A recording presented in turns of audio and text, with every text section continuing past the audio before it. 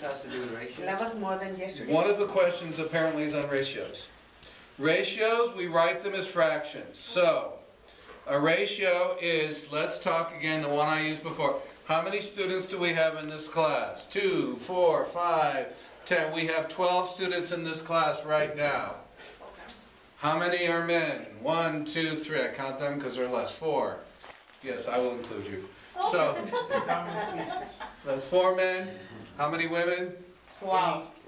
Eight. Oh, was this correct? The word problem, Clara. Listen to the word problem. All right. Eight women. So, if somebody asks you the ratio, it's how many to how many. The ratio of men to women is what? Who remembers? Would it be four point eight? Four to eight, not point, no. It's four to eight. There are four men to every eight women. Now, people, focus up here, please. Wait, what? Four to. Four to eight. Four men, eight women.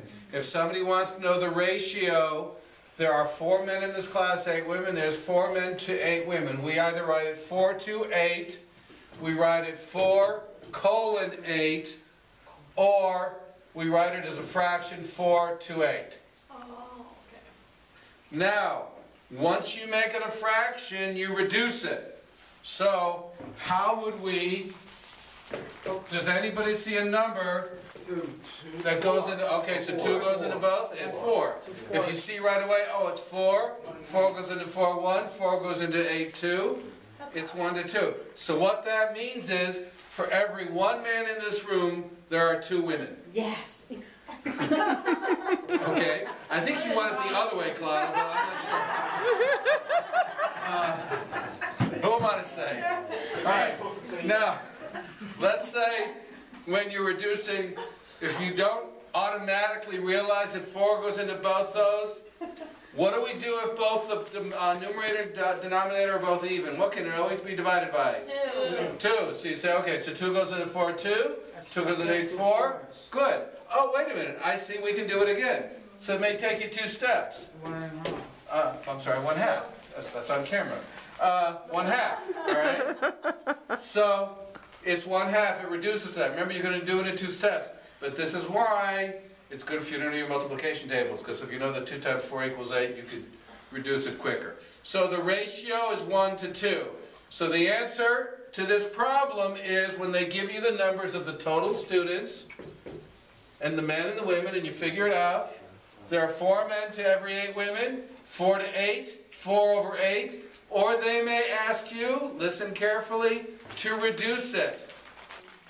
They want you to reduce your ratios, so the answer is really one to two, or one to two, or one colon two. But they don't have that colon on the graph. So what are you gonna do then? Use the decimal, You, No. right? there's no decimal here. I'm saying on the grid, oh, so you use the slash. Yeah. No, it's not four point eight, that's a whole different number. I got a question. The only, two i want th- oh, one second, Fred, I just want to finish the thought with Lisa. So again, there are three ways you can write a ratio. Four, the word to eight, four colon eight, four over eight. The only option you have on a grid is the dividing, the slash. So that's the way you have to write it. Don't put decimals in where they don't belong. Yes, Fred? If you got an answer like, um, like the answer I got from number two is, uh, totally different than, um, how would you write that? You got like, you got one, then you got the two slash remaining number. A fraction. I'm not, I talk about number two here? Yeah. All right, so dinner, you want to do, well, okay, tell you what. You want to just do it? Yeah, 'cause the answer- Let's do it, baby. All right. I got the answer, I mean, I'm just trying to figure out how you, um, plug in, how you write the answer, I got the answer. All right. All right, well, okay, so, Let's just do three and four. Fred, read us the problem, please. If Ben and Neil paid seventeen dollars and Sam paid fifteen, what is the ratio of the amount paid by Sam to the amount paid by Sam and Neil together?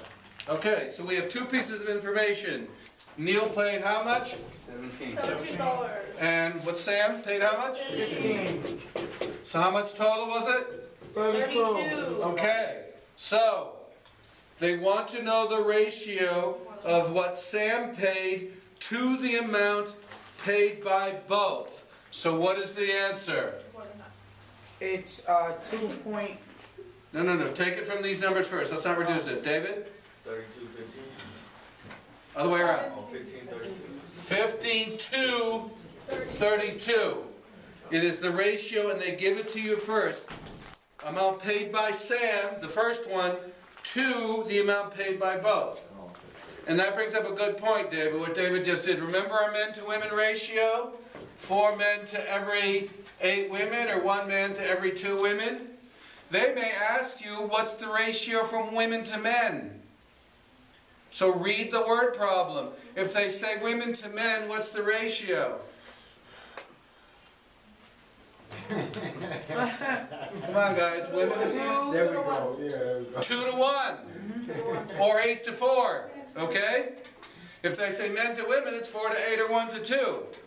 So that was a good mistake to make, David, because we learned from it. It says what is the ratio paid by Sam to the amount paid by both. So it is 15 to 32.